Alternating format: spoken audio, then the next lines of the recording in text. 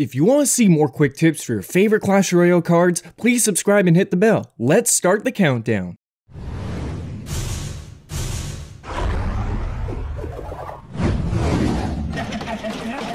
Number 15. Activate your King Tower by placing the Goblin Cage here and allowing that Electro Dragon to strike your tower. Number 14. If your opponent's push consists of multiple air troops, you can place the Goblin Cage near the center of the river to kite those air troops. Number 13. Although it can't die to any cheap spells, it can still work well in bait decks due to the fact that cheap spells that stun, distract, and slow troops can help counter it, such as the Barbarian Barrel and Snowball. Number 12. Beware of using your Goblin Cage when the enemy isn't threatening you. They could ignore the Goblin Cage and allow the Goblin Brawler to reach their tower so they can tornado it. Number 11, it acts as a great furnace counter. Place it in this spot in the same lane with this timing to completely counter all fire spirit waves. Number 10, if the enemy's miner poison combo is becoming hard to counter with the troops you have, place the cage near your tower once you can tell that their miner's back in cycle. The cage will wait until the enemy uses their miner poison and the brawler will help defend, or the cage will be just about ready to release the goblin brawler, preventing the enemy from sending their miner towards that tower longer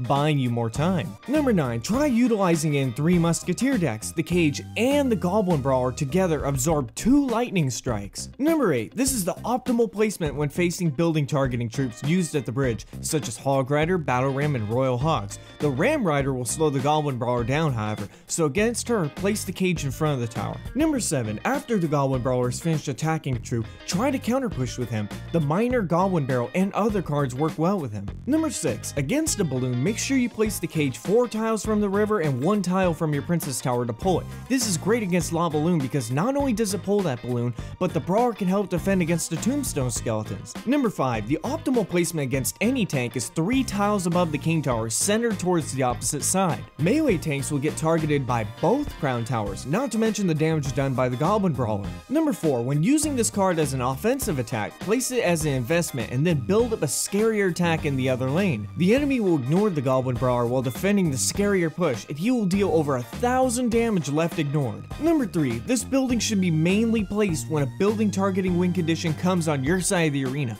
not as a pre-placement in the center before it appears. Otherwise, its short building lifespan will make the building weaker or will free the Goblin Brawler prematurely. Number 2. It's a great tool to defend against siege cards with. When the enemy uses an X-Bow or a mortar, drop it in the same lane as the siege card and not towards the other lane. The Goblin Brawler won't distract the building in the other lane like an ice golem, but he will back up your defenders when the enemy defends. And number 1? The Goblin Cage is classified as a passive building, so its pulling range is larger. This means placements such as this will pull troops like Hog Riders, unlike regular defensive buildings.